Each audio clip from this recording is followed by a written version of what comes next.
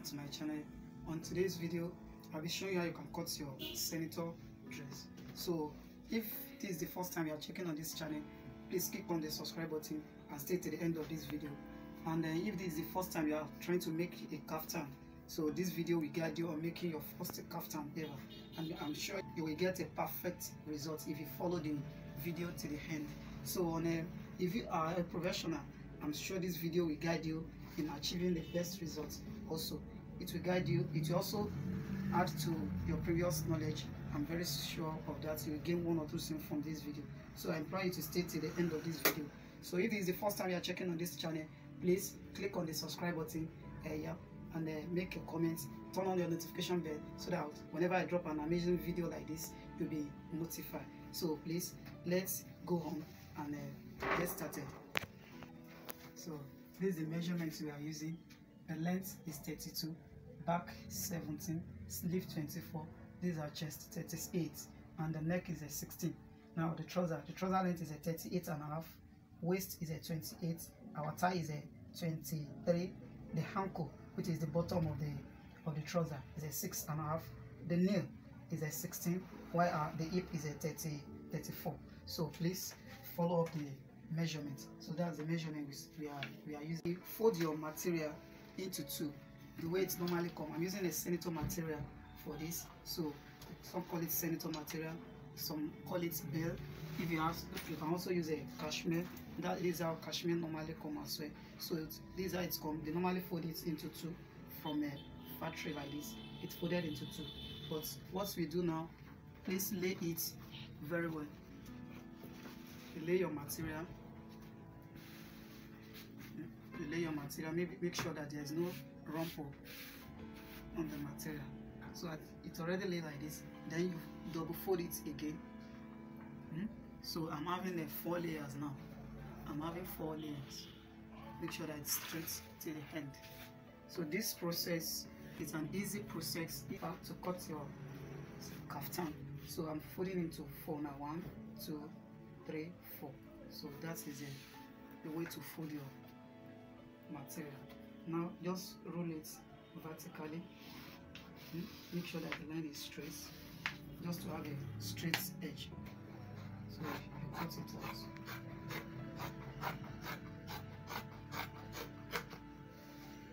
Now so on this edge now we apply our measurements. So remember the length you can see that I'm not cutting out anything yet I just fold it into four hmm? so just fold it like that. Then apply your measurement which is 32 32 I'm leaving a half inch upward half inch here which should be my seam allowance. Whenever I want to sew that's half inch upward. Then measure 32 32 that's my normal length 32 then my down folding. What I will use to fold the down part the down part of the of the senator dress I'm adding three inches for down folding. Then the back allowance now the back drop which will make my dress to be longer than the the back to be longer than the front yeah please i'm taking my time to explain all this so that you get it perfectly. The back to drop to the front. I'm adding a three and a half to this. So this depends on the measurements you can as well add three you can add three and a half but for this let me add three. Let me add three because the length is a is not a that much. So here now i first add a three inches for the down folding then three for the back drop which make the back to be longer than the than the front. So the total that i'm having now is a 38 and a half. So measure 38 and a half here as well. 38 and a half. So then just roll it out. Roll 38 and a half then you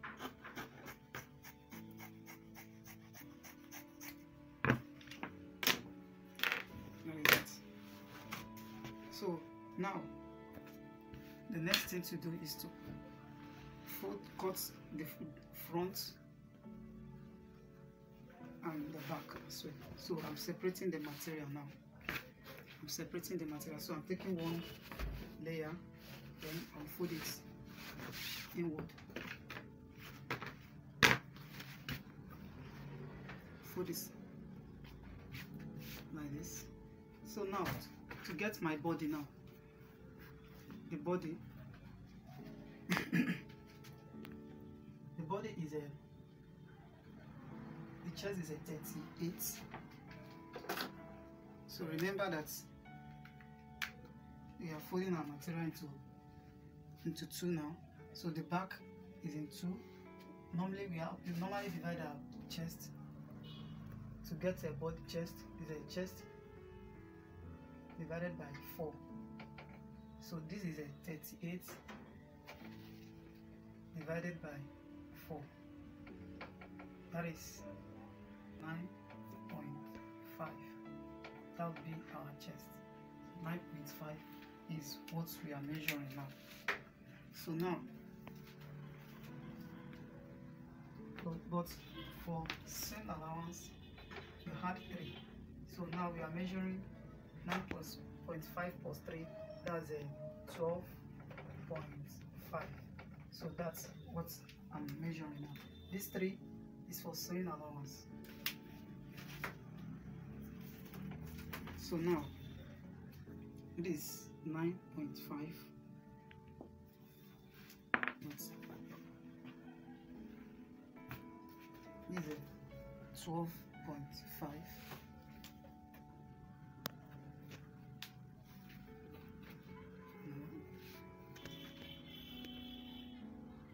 is 12.5 yeah.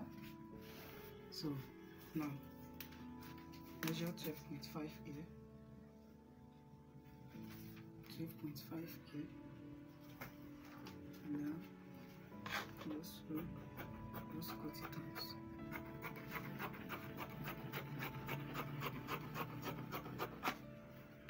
This is for my this is the front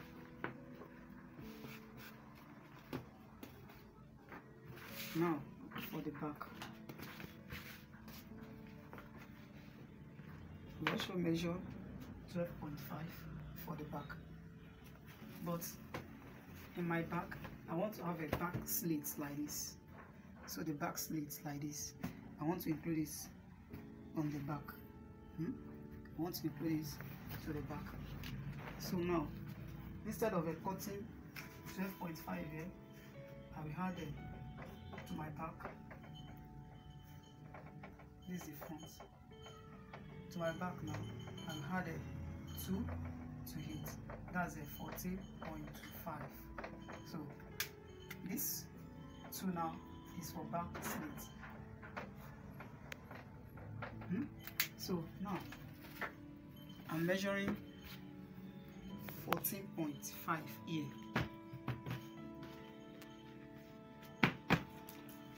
14.5 here.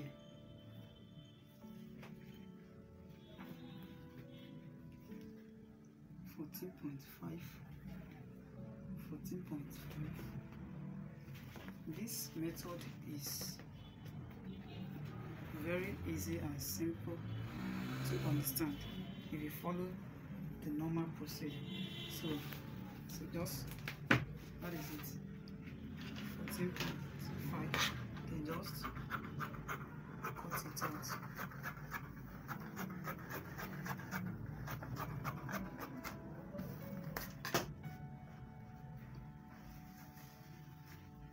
Now, the back slits that I had, I will roll it out now, which is two. I will measure it and roll it out. This is two. It is two,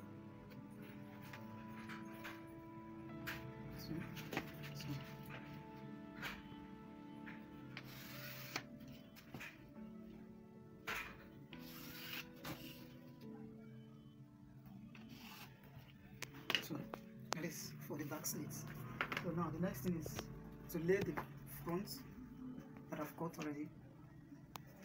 on the back. So i'm cutting both the back and the front together. Can you see it?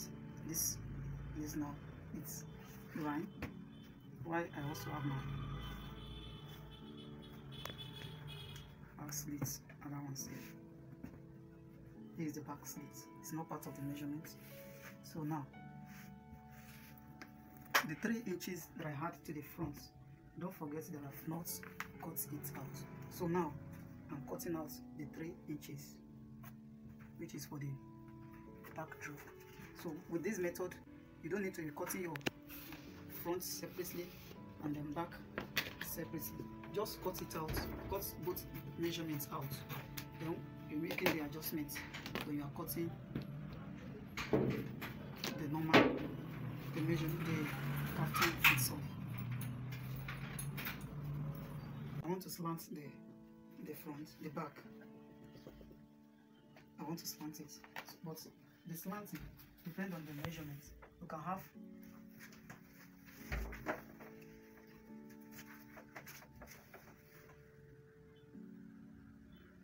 you can have one you can have 1.5 you can have two can have 2.5 you can use as a of three that is for my slant but here i'm using a two.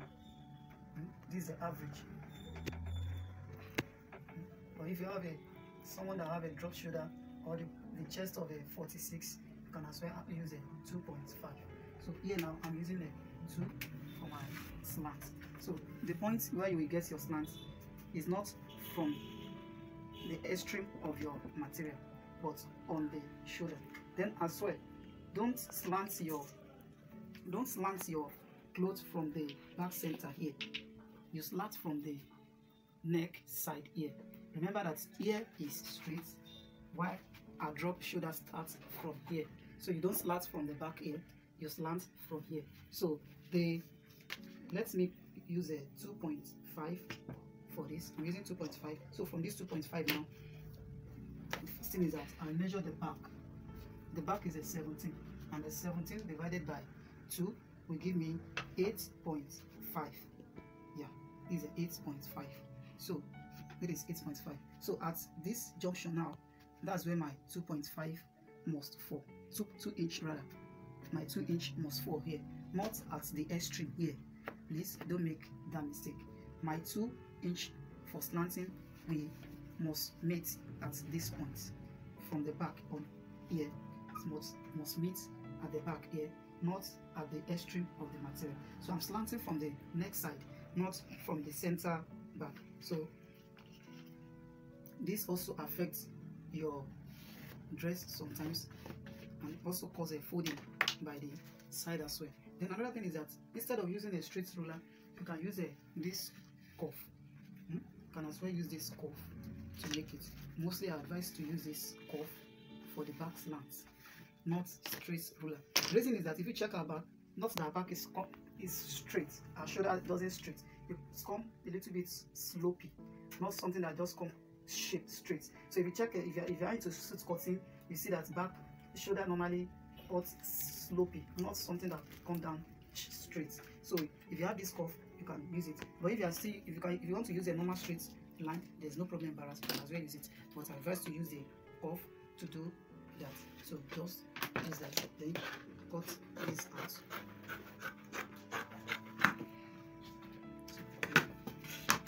So now the next thing to do now consider that i'm cutting both the back and the front together. So the next thing now is to drop down the material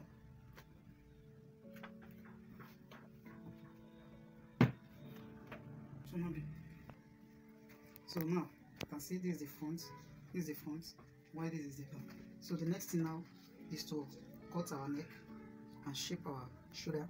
So now you fold the back to the front and let it overlap on the front with a half inch. Then use iron to press it so that you get the back line. You get the back line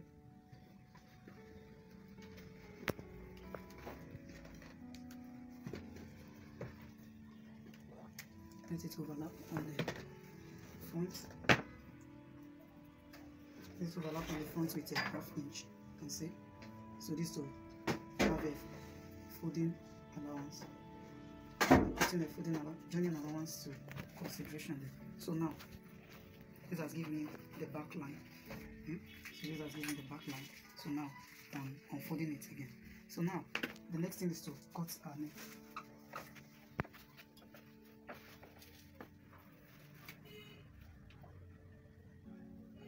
and the neck is a 16 that's the neck. So the formula to cut the neck is a the neck. We have a length. Hmm? and we have a width. So the length is a this is the length of the back. Wide is the width? So the length this is the length this is the width. Hmm? so this is the length this is the length this is the width so now this together constitutes total neck.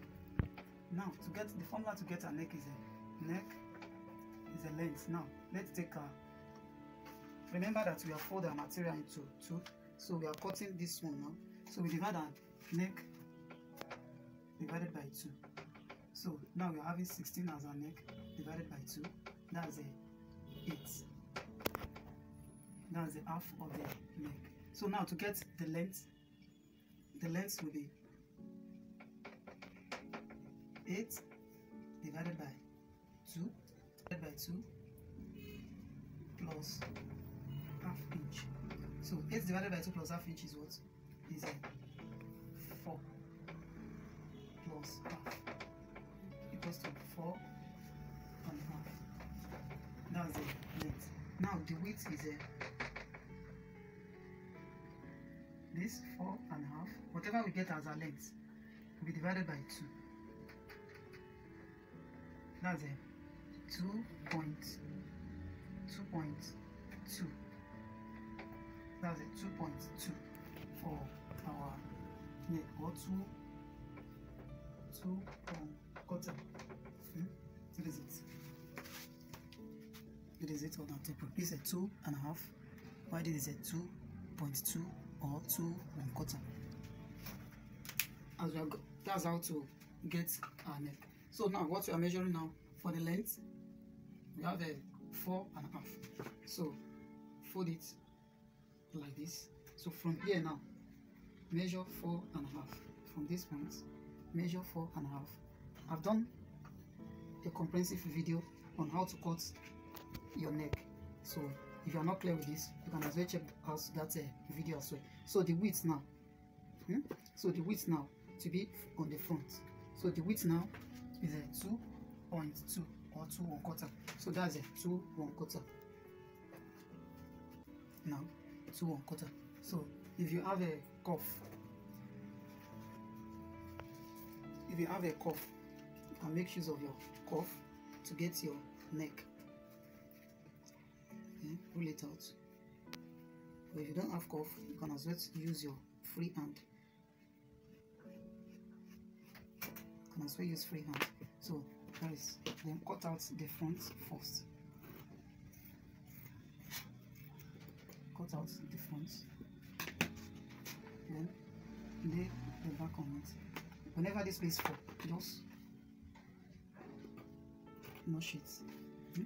now from this point now this point this back line now and just place your cuff there again like this then roll it.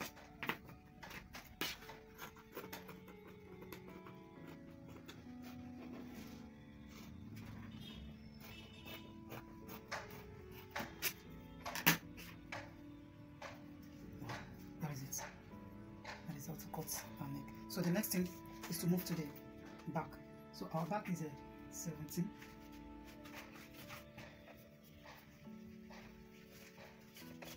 back is a 17 17 so to get our back line to be 17 divided by 2 that's a 8 and a half. So we're using 8 and a half here now. 8 and a half. Then you add a same allowance? Because we used to join the back to the sleeve now is a half inch. So that is it. So now we have a nine inches here. So come down here as well. Measure nine inches. Measure nine inches. Then rule it down. Rule it down. Now the next thing is to get our armhole is to get our armhole so now please i'm trying to give you all the formula for the for this thing so that if, even if you are cutting another measurement that's different from the one i'm using you'll be able to make use of the formulas that i've been given to arrive at the normal measurement for your for, for whatever the person you are making the clothes for. So now to get a armhole now so if you also want to watch a video on the how to cut armhole i've also make a separate video for this as well so you can as well check it out. To get a armhole is a chest divided by 4 minus 2 so now our chest is what? 38 38 divided by 4 minus 2 equals to 30 divided by 4 is a 9 and a half or let me say 9.5 hmm, minus 2 that will give me 7.5 so my armhole length now will be 7.5 so here now. I'm measuring 7.5 here. But sometimes I try to increase the armhole sometimes I minus 2 sometimes I minus half. I mean sometimes I minus 1 sometimes I minus 2 here I minus 1.5 sometimes I minus 1 so this is not constant. What I minus here is not constant this depends on the how you want the clothes to be fit on the person's body. If you want it to be very fitted you can use 2 or if you don't want it to be that much fitted you can use a 1.5 or you use a 1 inch. But here I don't want to use a these two. Let me use a 1 1 inch. Let me use 1 inch. So here now I minus I minus 1 inch from here. So this depend this 2 is not constant it depends on how you want the clothes to be on the person if you want it to be very fitted you can use 2 if you don't want if you want it to be a little bit free you can use 1.5 if you want it to be a little bit if you want it to be more fit free you can use a 1 inch. So please note take note. If you are making clothes for another person don't use 2 because it may be somehow tight on the person. Use 1.5 or 1 inch. So but for this guy i'm using 1 inch because i don't want it to to be too choke on him. So i'm using 1 so this will be 8.5 so let me i'm using 8.5 here now. So i'm measuring from the shoulder to here 8.5 so just rule it straight. Rule 8.5 from here.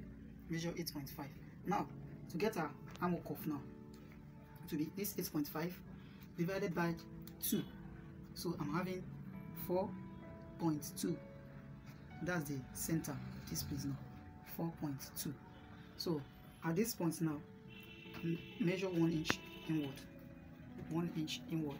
So this will make you not to have a pulling by the side of your clothes. So now after you measure one inch inward now so first get our chest. So the chest we have here is what? Is a 38 and the 38 divided by 4 will give us 9 and half. So we are measuring 9 and half here which is a 38 that's our normal chest. But for sewing allowance i'm adding 1 inch for sewing allowance. I'm adding 1 inch for sewing allowance. So this is where my I will cut the clothes from. So now place the French cuff on it. So then roll it